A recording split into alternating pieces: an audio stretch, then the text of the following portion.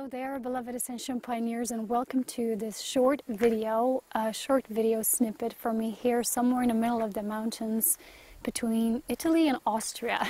so I want to share on how unpredictable life can be at times because today I went to this beautiful hiking trip and I went to my favorite lakes. I did some video shooting for the promo for the upcoming mountain gatherings that hopefully will come soon in the near future. So I was just gathering some of the beautiful material from these beautiful Alps that I love with all of my heart and soul. And um, I wanted to go to one of my favorite mountain passes that's here in Italy that takes you to this beautiful elevated spot. And somehow I missed the exit. And I ended up going a bit further when then I noticed there was a sign for another mountain pass. And I was like, okay, you know, I had 13 euros in my wallet and there was 13 kilometers to the mountain pass.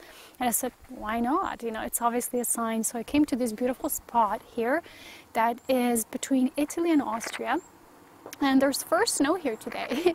And the topic of my video is just staying open staying open to love. Because a lot of times as ascension pioneers we have those experiences where we rather close our hearts than move on. But the path of ascension is the path of constant opening you know to be so open that in the end you know you no longer see the us and them or this and that or black or white. It's just there's this beauty created from everything and we've all had relationships that we've moved on from or you know we no longer had resonance. But i oftentimes see in the new age circles that you know people always say move on you know let that person go let that thing go. But i i've shared with you so many times before that we're never actually letting go a person. We're actually letting go the energy that is behind what's being revealed to us. Either it's a lack of balance a lack of integrity um, there's not enough mutual reception, there's not enough self love, value, um, respect. It's just whatever it is, you know, we are the pioneers and we're the ones who need to keep our hearts open. And what this means is that, you know, I keep being shown this vision of a bridge. We're bridge workers. We are the gatekeepers in a way that kind of show people this doorway to this new dimension we're co creating. We're actually there. It's just, um, we kind of like you know, raising our fingers up and uh, got stuck here in my uh, microphone. and we're saying, come on, you know, it's, it's okay. It's okay to feel. It's okay to be. And we're not actually being in alignment with our message if we're not heartfelt beings. Because a lot of times I've witnessed this lack of compassion in the spiritual circles with people saying something, but then in the end, they, they didn't show up that with their own representation of love because we're not here to be more spiritual or gather more knowledge. We've had all of that. Now we're here to simply be, be so intimate with ourselves and others, to never leave a door closed. You know, we always have to, even when we move on, when we leave certain situations and experiences, we still have to keep the door open. Let's say you are meant to assist someone at a certain point and then they gather what they can from you then they move on and you move on. But you never know you know um, how sometimes our paths take us to a certain point to a certain person maybe again. And you know we're like a dna spiral always moving further apart and coming back in unison. You know the key is always unity consciousness. So um, i hope you can hear me because it's very windy here today in these you know mountains.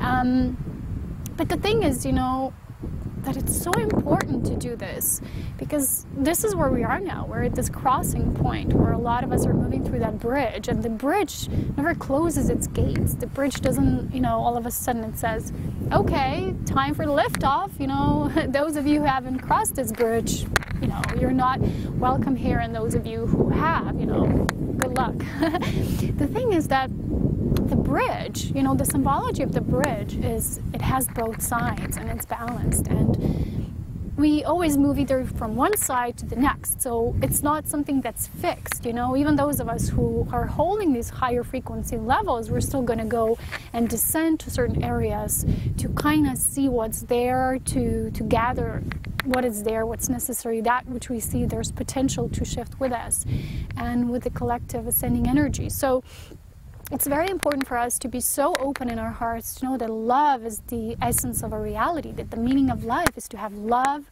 is to be loved, to share love. And it's more important than to just be right, to be so spiritual that in the end we're full of these beliefs and concepts that in truth, when we come into contact with others and we don't always agree with them, or like what they're saying, it keeps us in separate mode rather than seeing the unity of it.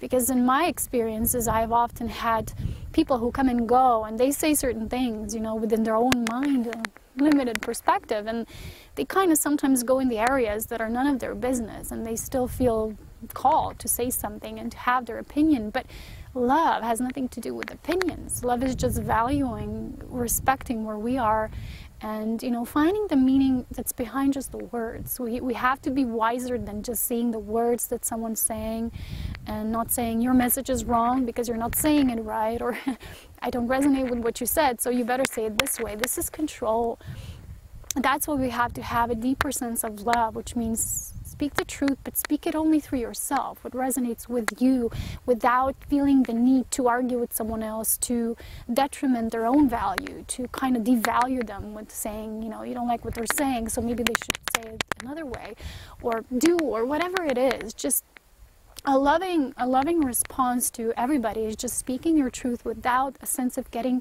involved with someone else without interfering in what they are sharing doing saying because um, it's just so simple when we live in love. It really is. And the bridge is, is always this state, you know, where we're in between many worlds, not just one world. So we have this connection to realms that we can see here.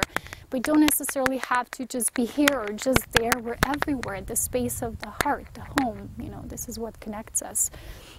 So I really wanted to get this message across. It's going to be a short one this time because it's very cold here and my legs are falling asleep.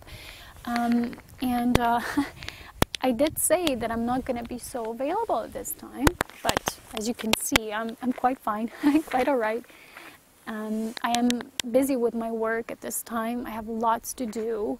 So um, I still feel so called sometimes, you know, to share these messages that just come across. And I feel this is very important because I still experience people who um, have gathered so much spirituality that it makes them almost too spiritual, if you know what I mean. We're here to be real. We're here to be authentic. We're here to share with just feeling each other because a lot of times what we forget is to take a deep breath. We don't like, for example, if someone's saying something and we don't resonate, just take a breath, close your eyes, feel behind what the person is saying. Just feel them, feel their essence. We can all do that.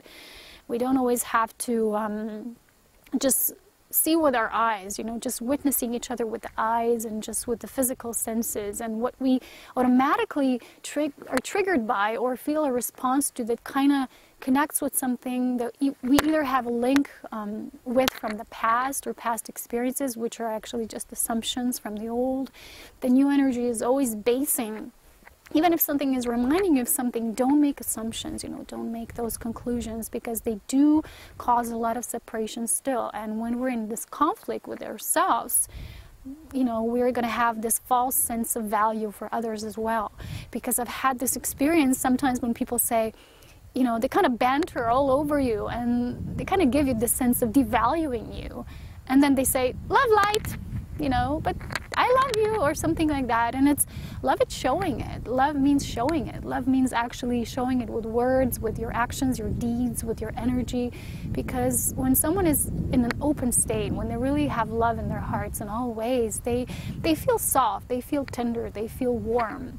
When we don't, when we rather focus our experiences and connections and correspondence, you know, in our communications through the mind, we're, we're going to feel more cold. We're going to feel more you know. But oftentimes we say things that are very, you know, for example, I oftentimes say things very fast because I'm very hyper being.